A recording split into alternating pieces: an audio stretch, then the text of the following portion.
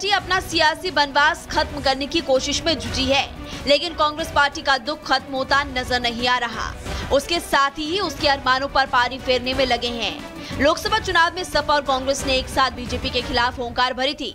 UP में BJP को कड़ी टक्कर देकर दो लड़कों की जोड़ी ने अपना लोहा मनवाया था। लेकिन अब उपचुनाव आते आते ये जोड़ी बिखरने की कगार पर है। सीट शेयरिंग को लेकर कांग्रेस और सपा के बीच की खाई और भी ज़्यादा बढ़ गई है। सपा ने कांग्रेस को दो सीटों पर चुनाव लड़ने का ऑफ़र दिया था, जिसे कांग्रेस ने ठुकरा दिया। अब सपा अध्यक्ष अखिलेश यादव ने कहा कि सपा के सिंबल पर ही चुनाव लड़ा जाएगा। सोशल मीडिया साइट एक्स पर अखिलेश यादव ने जानकारी दी। अखिलेश ने एक्स पर लिखा, बात सीट की नहीं, बल्कि जीत की है। इस रणनीति के तहत इंडिया गठबंधन के संयुक्त प्रत्याशी सभी नौ सीटों पर समाजवादी पार्टी के चुनाव चिन्ह साइकिल के निशान पर चुनाव लड़ेंगे।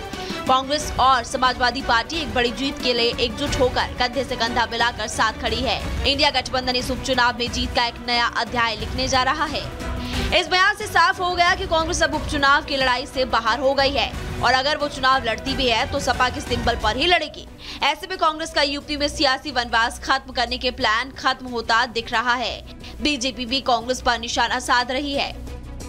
कांग्रेस पार्टी अब उत्तर प्रदेश में अपने अस्तित्व को मिटाने के लिए भी तैयार हो चुकी है। अखिलेश यादव जी ने ऐलान कर लिया है कि नौ की नौ सीटों पर समाजवादी पार्टी के सिंबल पर चुनाव लड़ा जाएगा। कांग्रेस के पास अब उत्तर प्रदेश में कुछ बचा ही नहीं है। कांग्रेस पार्टी ने सरेंडर भी कर दिया है और संदेश भी साफ़ है। पहले पोस्टर लगा कि 27 में सत्ताधीश और अब सीट भी नहीं मिलेगी। बार्गेनिंग टेबल पर कांग्रेस अपने उम्मीदों के अनुरूप सीटें हासिल करने में फेल रही और सपा ने उसके लिए सिर्फ़ और सिर्फ़ दो सीटें छोड़ी। दो और पाँच की लड़ाई में सपा और कांग्रेस की दोस्ती फंस गई। अब उसके साथ दो सीटें भी नहीं आई। कांग्रेस की नाराज़गी के कारण, क्या है वो भी आपको बताते हैं। कांग्रेस की नाराज़गी के कई कारण बताए जा रहे हैं। यूपी में कांग्रेस का सांगठनिक ढांचा वैसे भी मज़बूत नहीं है। दूसरे, जो सीटें पार्टी को मिली है, उन पर ट्रैक रिकॉर्ड भी काफ़ी ज़्यादा उत्साहजनक नहीं रहा। गाजियाबाद शहरी सीट है और इसे बीजेपी का गढ़ माना जाता है। अलीगढ़ की खैर सीट पर भी पिछले चुनाव में पार्टी का उम्मीदवार 1500 वोट का आंकड़ा भी नहीं छू सका था। कांग्रेस नेताओं को लगता है कि जब वो बीजेपी से उसके दो मज़बूत गढ़ में लोहा ले रहे हैं, उनको ऐसी सीट भी मिलनी चाहिए थी जहाँ जीत की संभावनाएँ भी हो। कांग्रेस इसलिए मिर्जापुर की मजमा और प्रयागराज की फूलपुर या इसमें से किसी एक सीट के लिए दावेदारी कर रही थी। कांग्रेस के लिए बागे कुआँ और पीछे खाई वाली स्थिति है। अगर वो दो सीटों पर लड़ती है तो उसे हार का सामना करना पड़ सकता है। और अगर नहीं लड़ती है तो पहले से कमज़ोर संगठन में भी निराशा होगी। अखिलेश गठबंधन की बात तो कर रहे हैं, लेकिन फुटप्रिंट पर खेलकर कांग्रेस को बैकफुट पर धकेल रहे हैं। Bureau report, Republic Bharat.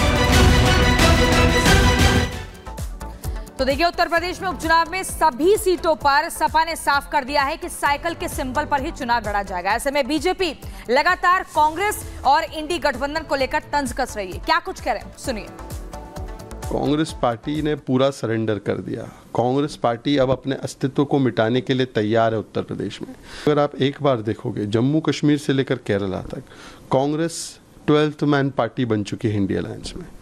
कच्चा नींबू पार्टी बन चुकी है। कोई कांग्रेस को सीरियसली नहीं लेता। जम्मू कश्मीर में उमर अब्दुल्ला बोलते हैं, भाई, एक पद मिलेगा, लेना है तो लो। पंजाब में इंडिया अलायंस में कांग्रेस के लिए नो स्पेस। हरियाणा में नो स्पेस। अब देख लीजिए, दिल्ली में नो स्पेस। फिर उसके बाद आ जाइए, गुजरात में नो स्पेस। महाराष्ट्र में नो स्पेस। कर्नाटक केरला में नो स्पेस केरला में वायनाड के कैंडिडेट प्रियंका वाड्रा के सामने एक कैंडिडेट उतारा गया है। बंगाल में नो स्पेस तो कांग्रेस जो है, अपनी स्पेस खोती जा रही है। एक समय पर कांग्रेस बेताल की तरह विक्रम के कंधे पर चढ़कर राजनीति करती थी। अब जो एलाइज है, वो सब कांग्रेस से कह रहे हैं कि हमारे कंधे से उतर जाओ।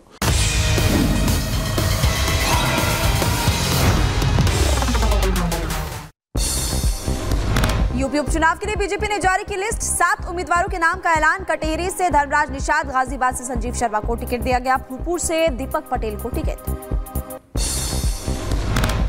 यूपी उपचुनाव में सपा के सिंबल पर चुनाव लड़ेंगे इंडी उम्मीदवार अखिलेश का बयान कहा बात सीट की नहीं जीत की है।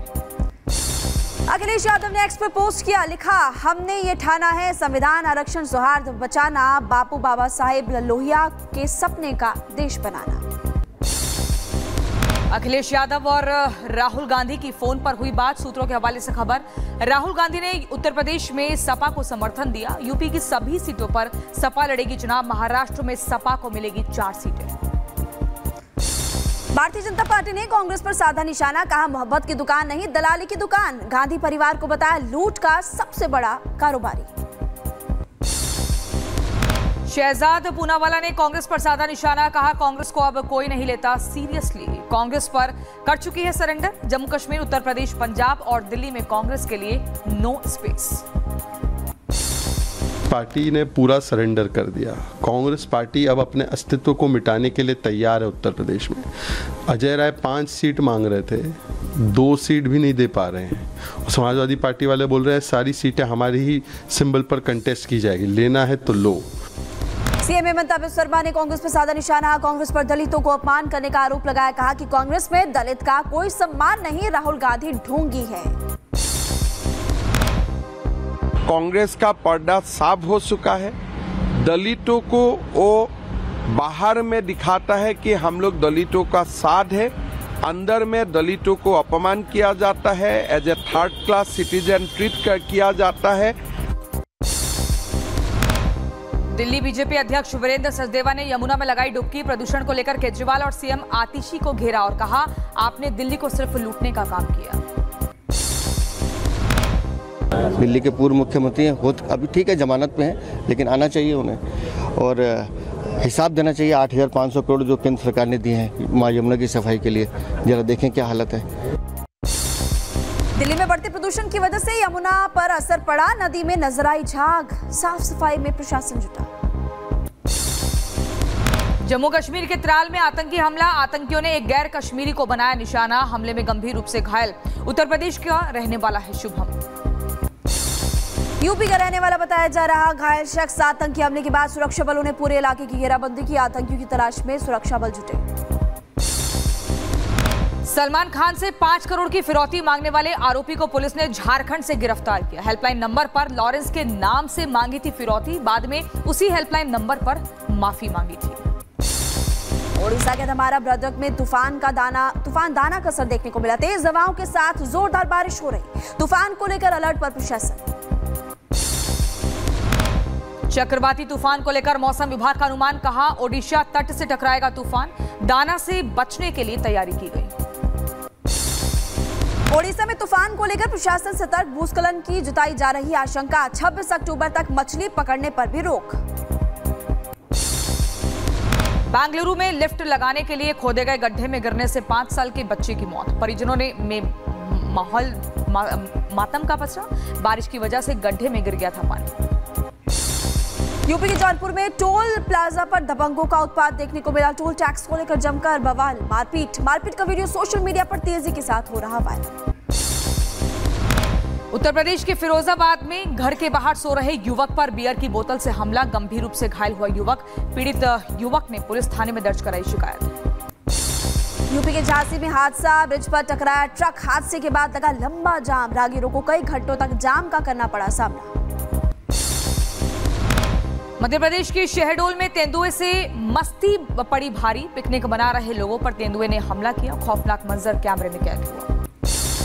यूएई में दिखा बवंडर। भयानक तस्वीरें आई सामने। फ़िलहाल अभी तक किसी तरह के नुकसान की कोई खबर नहीं। तूफ़ान को लेकर अलर्ट मोड पर सरकार। फिलीपींस में एक शख्स ने सूझबूझ से बचाई अपनी जान बाढ़ के पानी से बचने के लिए। ताड़ के पेड़ पर चढ़ा था शख्स। सोशल मीडिया पर वायरल हुआ वीडियो।